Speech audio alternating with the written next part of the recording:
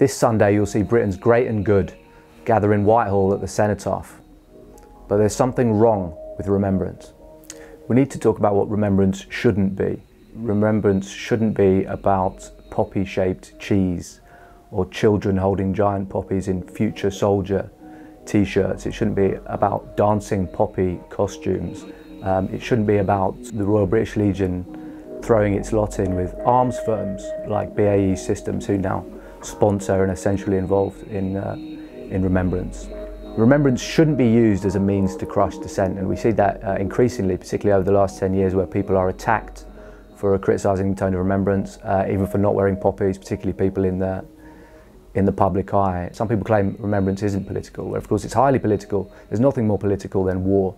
Um, and if we're going to take it seriously and really be respectful to the people who've died in wars, it should be a space for questioning war and why we go to war. We also need to talk about what remembrance uh, can be and should be, and that's an opportunity to reject the current idea that uh, when we talk about conflicts, we narrow it to our own dead. It's just our dead who matter. We need to talk about all the victims of war, particularly in modern wars when the majority of victims are civilians. You look at Iraq and Afghanistan and Libya and places like this.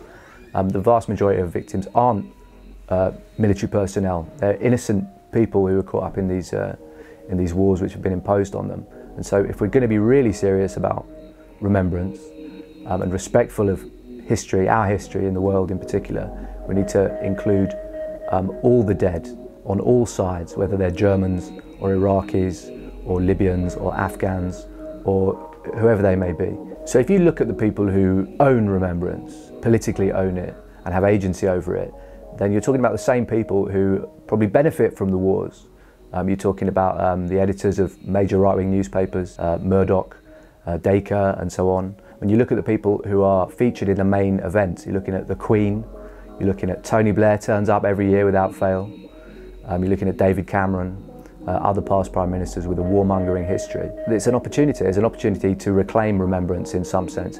You will never see, um, you will see generals on that parade, but you'll never see your average soldier You'll never see an Iraqi who's been displaced or an Afghan who's been displaced.